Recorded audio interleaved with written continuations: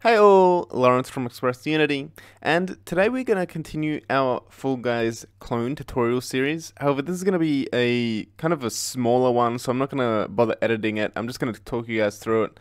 Um, this was kind of a suggestion um, that was brought to me in our Discord server, and somebody basically just wanted to know if I was going to eventually make it so that the slime rises, and as it does, as it uh, rises over the map, if you get caught in it, then it's game over.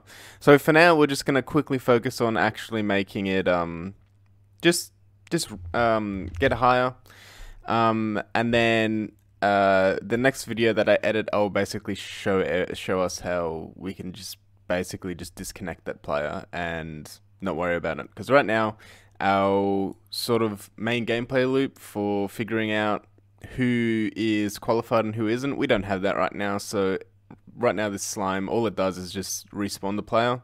So for now, we'll just focus on the height, and then the next video that I actually edit, we will go through and um, actually implement all that gameplay logic. So the first thing is we just want to uh, open up our restart zone, and we're gonna give it a new public static bool and we are just going to say, um, what can we call this? Um, uh, we'll just say move zone equals false by default. And then on update, so void update, we're just going to say if uh, move zone, um, then we're just going to say game object dot transform dot translate. Oops. Transform dot translate. And we're just gonna say vector 3 dot up. And we'll just say something like times 10 times time dot delta time. Okay so now what we want to do is basically set this move zone with an RPC and this will basically start rising on everybody's client. So how we can do that is going into our Photon Manager. We had this RPC play account, and so when the room is closed after this, we are just going to say restart zone dot move zone equals true. And that's basically it. As soon as the round starts, the slime is going to start moving up.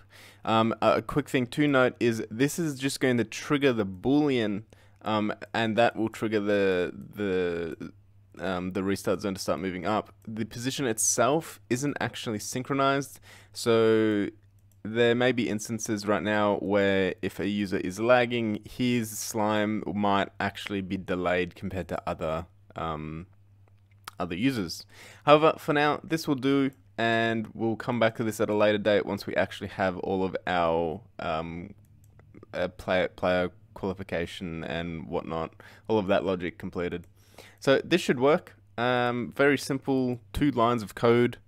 And so I will just quickly build this. Alrighty, so we'll just log into both of our clients.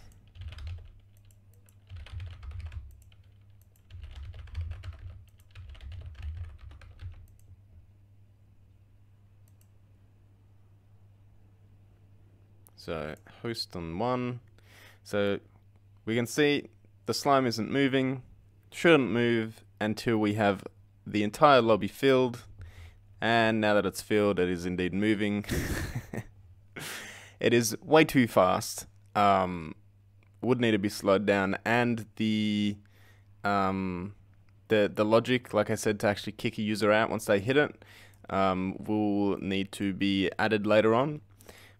But for now, that's that's basically it. It's as simple as that. Would definitely want to turn this uh, speed down. Um, but yeah, that's it. If you want to make moving slime for the Fall Guys clone, that is how we accomplish it. Very easy. Where did everything go? There we go. Very easy.